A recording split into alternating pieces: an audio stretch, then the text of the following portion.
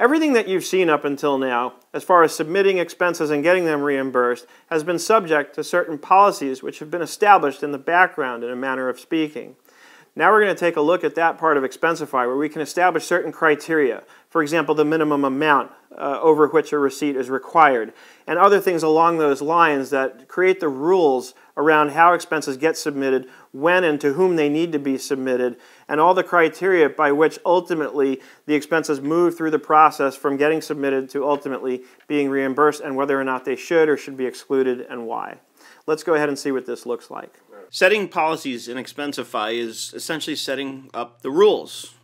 What's allowed, what's not allowed, what are the limits, what are the minimums required, who reports to who, who submits to whom, and all those kinds of things that you want to be able to establish, especially if you have a larger organization with, you know, more than, let's say, a few employees. But as you'll see in my example, using schoolofbookkeeping.com as the example here, even within a fairly small organization, it's still uh, important, if not useful, to be able to set these policies up so that the right workflow can be created. So let's take a look. It's easy to set a policy, and as you'll see in the written portion, uh, the policies are how the billing is uh, based. In other words, every policy that you set up means another monthly bill from Expensify. So theoretically and normally you might just have one policy for each company that you manage through Expensify, but you could have multiple policies if you wanted to.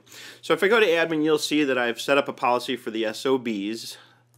And if I click on that, we can start getting in and having a look at what's here. Now, under the basics, you'll see it gives you just that, the basics, the policy name. Uh, the owner, as you can see, is myself. The uh, subscription type that we have.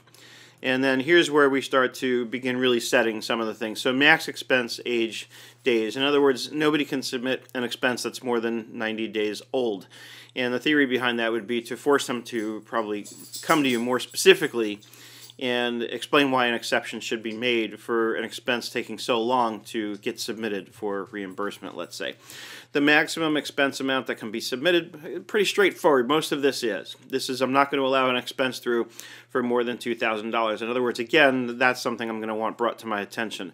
The receipt required amount, the IRS these days uh, only requires receipts for anything over $75 the uh, reality is, in my own case, and I mentioned this in the write up, is I'm leaving it blank because I want a receipt for everything. If somebody wants to get reimbursed for an expense, I want a receipt for it. I want it documented, what I reimburse them for, and uh, so that I know exactly how to categorize it and so on and so forth. So for me, it's required period dot the end no matter how little or how much the expense was. If you want to get reimbursed for it, submit a receipt. That's my sort of philosophy on that. Uh, the output currency, again, straightforward. Default new cash expenses is reimbursable, right? So if it's a cash expense, theoretically, in most cases, it's going to mean somebody's going to want to get reimbursed for it. Um, billable could be, could not be. It just depends. So I, I leave it off as the default. Uh, e-receipts enabled, I would say always do that. Why not? It doesn't cost you any extra. And a digital signature required is going to create extra friction, so only do that if you have a really good reason for wanting to require that.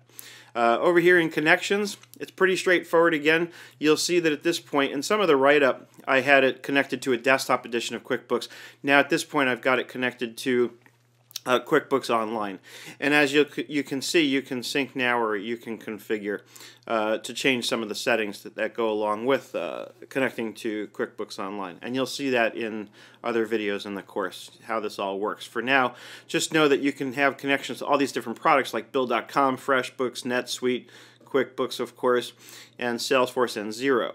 Uh, and then here are supported connections. So these are other products that you can connect with Expensify and get Expensify to work with. So this is definitely handy to know. Obviously, you'll pick which one, uh, whichever product you're using that you need uh, working with Expensify.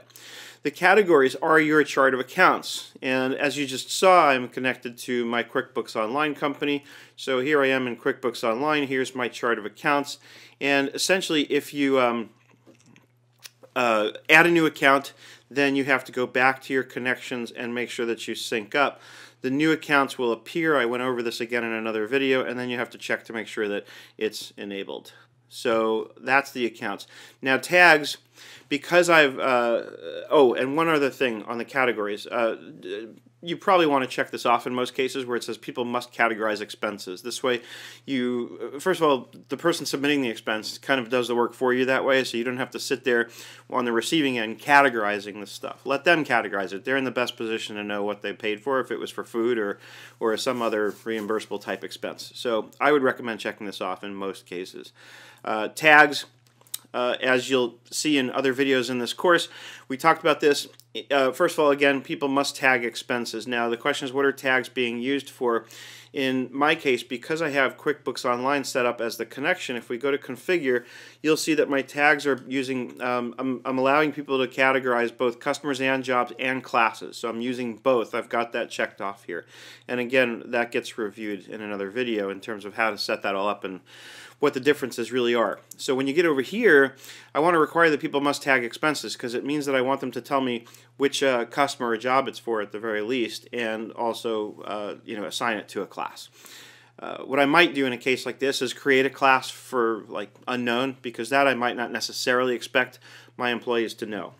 So then we come over here to people and this is where I'm going to really spend most of the time where, where I feel pro probably uh, the most help will be required, so to speak, in terms of what this is all about. And even this is, first of all, you have three different types of, of uh, submission and approval processes. The first one is submit and close, very straightforward. You submit and it's done, right? Then submit and approve, meaning a person submits to a single person and that person has to approve it. Over here, what I've got selected is advanced approval, where you can set up an actual workflow and that's what I've done. We've got three people in our organization who are using this myself, Eric, and Chris, who's our sales guy. So notice here in the column, in the second column next to each email address, I can establish who each person submits to. So Chris submits to Eric, Eric submits to me, and of course I submit to myself. Then over here under details, uh, I have none for Chris. But over here, this is where you establish who approves to who. So submitting expenses is one thing. And what this is really saying is, you know, Chris submits to Eric. Then Eric, if he has his own expenses, will submit to me. But also, when Eric approves Chris's expenses, he approves those to me. In other words, I get a, another sort of layer of approval.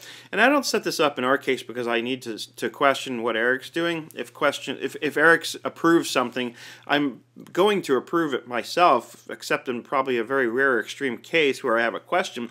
But the reality is, the only reason I have it set up this way in our case is because I want that ultimate approval to go to me so I could submit it and get Chris paid and make sure that it's integrated properly with our accounting software. Frankly, so that Eric doesn't have to deal with that part of it. He can just say it's approved by me. And also, since Chris reports to Eric, it seems appropriate to set up the workflow that way. And if you click the settings wheel here, it's pretty straightforward. I simply put in uh, next to Eric that he approves to me by putting my email address over here. And there's some other options here. I can set up a second layer of approval so he uh, approves to one person uh, for expenses up to a certain amount. Over that amount, he approves to somebody else. And then, of course, I have to establish that person's uh, user ID or payroll ID. So that's pretty much it. Or I can make Eric a policy admin. Uh, so that's the other option. And actually, as you can see, I've got that established here. He is, in fact, a policy admin. If I go over to Chris's, then he's restricted. And that's the story, folks. So that's how you set up the workflow in terms of submission and approvals. Uh, the thing you know to remember is that there's a separate column for who they submit to, and then who they approve to is here in the details under the settings or cog wheel. Uh, the rest is going to be pretty straightforward here. Distance and time, what's the rate per mile? Expensify will default you to the standard government reimbursement rate per mile. Uh, of course, you can have rate per kilometer in case you are dealing in countries that use kilometers and not miles. And of course, I have my default unit set here. You can enable time tracking and set a default hourly rate. Fantastic. As you can see, I've got that at zero.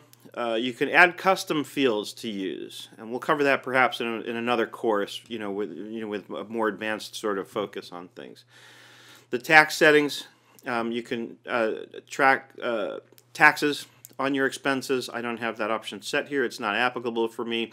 But if you're, say, uh, an architect or like an interior designer, you know, client, I have interior designer clients where that becomes important because you're buying a lot of stuff on behalf of somebody else. So you want to track the taxes, make sure that you sort of get that credit against what you owe in the appropriate uh, taxing authorities.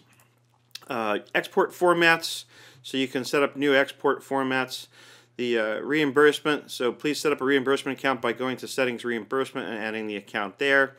Uh, invoices, and then there's bill processing here, which again, in this course, we're not going to go deep into that. But I just wanted to at least give you a look at everything that's here with the major focus on the, uh, the people part of it because this is where you're probably going to be most interested and curious about how to get this set up. And that, my friends, is it. That's my story, and I'm sticking to it. As always, if you have questions and you're a registered student at schoolofbookkeeping.com, please use the Answers Forum. If you are not a registered student, please register and or use some of the public forums that we have, such as Accountants, Bookkeepers, and Business Owners, which is our group on Facebook. I hope you're having an absolutely fantastic day, and I look forward to seeing you in the next lesson. Now that we know how to set policy, and for that matter, the whole process of submitting expenses, getting them reimbursed, managing and tracking all the information, I want to highlight that everything we've shown you so far in terms of the integration with accounting software has been based on integrating with QuickBooks Desktop. So what we're going to show you for the rest of this course is integration with QuickBooks Online and some of the additional options you have there that aren't available in the integration with QuickBooks Desktop.